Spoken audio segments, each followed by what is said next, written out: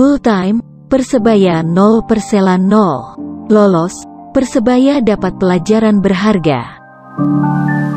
Dikutip dari persebaya.id, Persebaya akhirnya bisa memastikan satu tempat di babak delapan besar.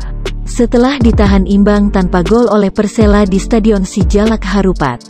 Koleksi tujuh poin dari tiga laga, membuat Persebaya tak akan tergusur dari top 2. Sepanjang pertandingan, Bajol Ijo mampu menguasai pertandingan. Kesulitan mencetak gol di babak pertama membuat Aji Santoso merombak lini tengahnya di awal babak kedua. Randy Irwan dan Ricky Kambuaya masuk menggantikan Hambali Tolib dan Muhammad Kemaludin. Octavianus Fernando juga dimasukkan untuk menggantikan posisi Supriyadi. Pergantian tersebut terbukti mampu menghidupkan kembali motor serangan Bajol Ijo. Kombinasi Randy dan Kambuaya mampu memberikan servis apik untuk kebarisan depan. Pada menit ke-51 Samsul Arif mendapatkan peluang emas. Umpan mendatar Randy mampu diterima dengan baik dan diteruskan dengan tendangan ke arah gawang. Sayang sepakan yang menyusur tanah tersebut masih dapat diamankan penjaga gawang Persela. Sementara itu, Persela juga memberikan tekanan yang cukup berbahaya. Beberapa kali striker baru Lamongan, Melvin Lorenzen mampu membuat Rahmat Irianto dan Rizky Rido kerepotan. Salah satunya lewat skema serangan balik cepat di menit ke-57. Mantan pemain Persebaya, Nasir mampu berhadapan satu lawan satu dengan Rizky Rido. Beruntung sepakannya mampu diamankan dengan baik oleh Satria Tama. Di sisa pertandingan, Persebaya justru lebih banyak tertekan. Beruntung penjaga gawang Satria Tama tampil gemilang dengan mencatatkan sedikitnya empat penyelamatan krusial. Dan membuat laga berakhir dengan skor imbang 0-0. Hasil seri lawan Persela menjadi pelajaran untuk Persebaya. Mereka kesulitan untuk menjebol strategi parkir bas ala Laskar Joko Tingkir. Sebaliknya, serangan-serangan balik Persela juga sangat berbahaya.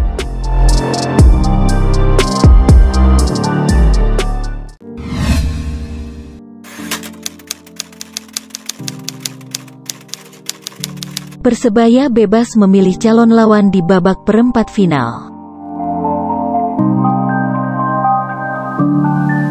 Dikutip dari bola.com, Persebaya Surabaya telah memastikan tiket ke delapan besar Piala Menpora 2021. Kepastian itu didapat Samsul Arif dan kawan-kawan.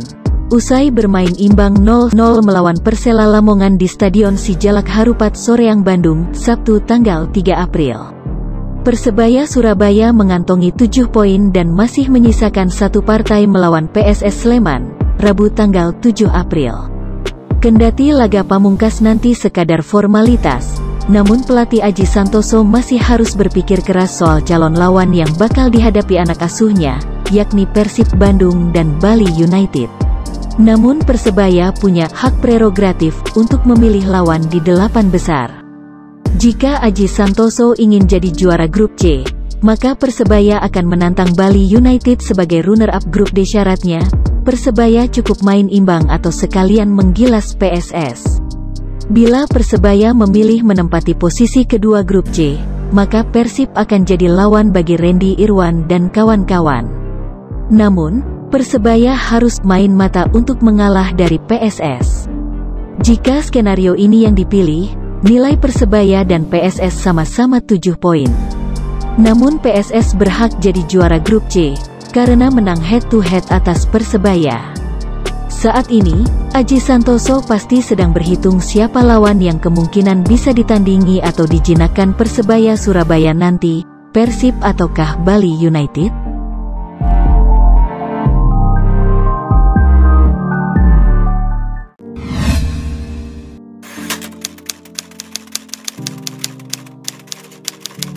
Kapten Persebaya ucapkan terima kasih ke Persela.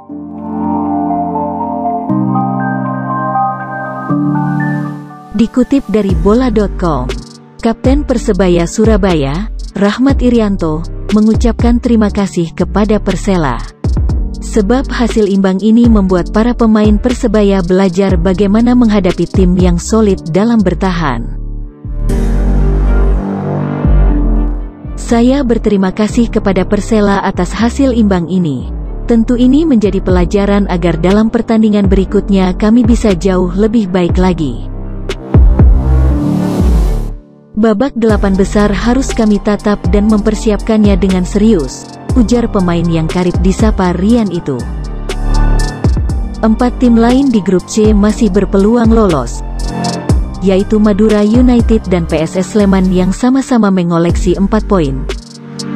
Persela Lamongan dan Persik Kediri yang sama-sama mengoleksi 3 poin. Kecuali Madura United, tiga tim lain bersama Persebaya akan melakoni pertandingan terakhir grup C pada tanggal 7 April. Persebaya Surabaya dijadwalkan berjumpa PSS Sleman yang menjadi laga penentu status juara grup C. Sementara Persela dan Persik akan bersaing untuk memperebutkan poin agar bisa lolos ke fase selanjutnya sambil berharap PSS Sleman kalah dari Persebaya.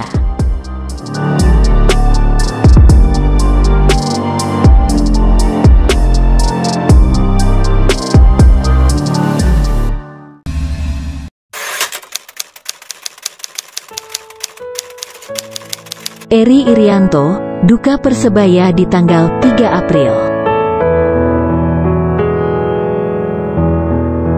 Tanggal 3 April akan selalu menjadi kenangan untuk tim Persebaya dan suporternya Bonek Mania.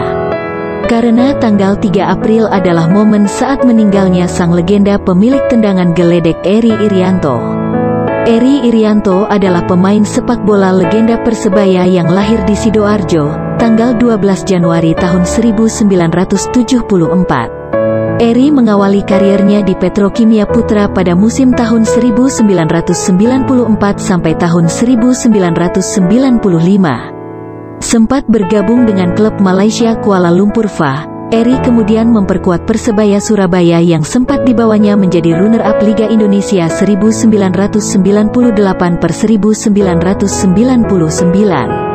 Eri tercatat 10 kali tampil pada posisi gelandang bersama tim nasional Indonesia dengan perolehan 3 gol. Eri Irianto meninggal pada usia 26 tahun usai tampil di laga Persebaya Surabaya melawan PSIM Yogyakarta pada tanggal 3 April tahun 2000 di Stadion Gelora 10 November Surabaya.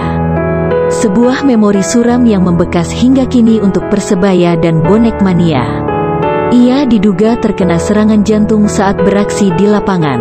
Sang pemain sempat dibawa ke RSUD Dr. Sutomo sebelum akhirnya tak tertolong menghembuskan nafas terakhir. Insiden bermula saat Eri bertabrakan dengan pemain asal Gabon, Samson Noujine Kinga. Semenit sebelum babak pertama berakhir, Eri Irianto mulai sempoyongan lantaran kepalanya terasa sakit. Eri berlari ke pinggir lapangan dan minta diganti. Kala itu Nova Arianto masuk menggantikan posisinya. Eri terus memegangi kepalanya saat di bangku cadangan. Eri pun tidak sadarkan diri dan langsung dilarikan ke rumah sakit. Sang gelandang pun dilarikan ke RSUD Dr. Sutomo Surabaya. Setelah menjalani berbagai perawatan, Eri mengembuskan napas terakhir di rumah sakit. Sang pemain tersebut dinyatakan meninggal dunia karena gagal jantung. Tak ada yang mengira benturan itu bakal berakibat fatal. Kami benar-benar merasa kehilangan. Dia lebih cepat meninggalkan kami semua saat usia emas, kata Aji Santoso, pelatih Persebaya. Aji Santoso bermain bersama Eri Irianto selama hampir dua musim di Persebaya, yaitu tahun 1998 sampai tahun 2000. Hal yang selalu lekat di benak Aji Santoso soal Eri adalah tendangan cannonball-nya yang super. Begitu kerasnya tendangan geledek gelandang kelahiran Sidoarjo, tanggal 12 Januari tahun 1974 tersebut hingga banyak kiper lawan takluk. Bejo Sugiantoro yang menjadi salah satu rekan Eri Irianto, mengaku bahwa saat benturan yang terjadi itu ia berpikir hanya benturan biasa. Tak ada yang mengira benturan itu bakal berakibat fatal. Jujur awalnya menganggap itu hanya benturan biasa, tetapi saat dibawa ambulans saya merasa sedih, dan langsung berpikir ada sesuatu, kata Bejo Sugiantoro. Selesai pertandingan, Bejo juga masih sempat bertemu dengan Eri yang sudah lemah tak berdaya di instalasi gawat darurat RSUD Dr. Sutomo, Surabaya. Saat itu saya khawatir sekali. Bahkan saya datang ke rumah sakit sekitar jam 9 atau 10 malam langsung melihat dan saya melihat dia sampai di kamar jenazah saat itu, ujar Bejo yang kini menjadi asisten pelatih Persebaya Surabaya. Pemain yang meninggal di usia 26 tahun itu memang menjadi bagian penting untuk tim berjulukan Bajul Ijo karena ia selalu masuk dalam daftar skuad utama. Kematian tiba-tiba Eri mengejutkan banyak pihak. Pasalnya pemain kelahiran Sidoarjo, tanggal 12 Januari tahun 1974, sedang berada di puncak karir. Ia jadi pelanggan timnas Indonesia periode tahun 1995 sampai tahun 1997. Ia adalah sedikit pemain di posisi gelandang yang bisa eksis di perhelatan sepak bola tanah air. Untuk mengenang jasanya, Persebaya memensiunkan nomor punggung 19 milik Eri.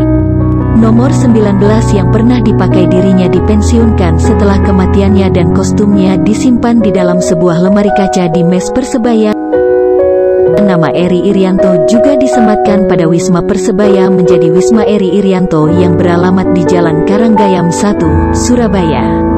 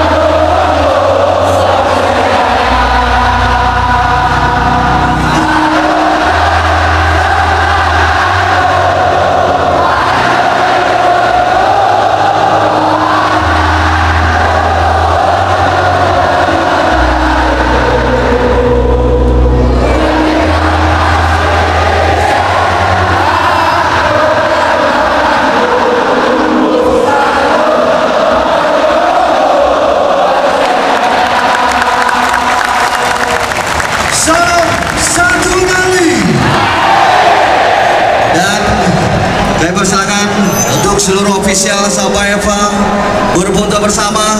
Dan ini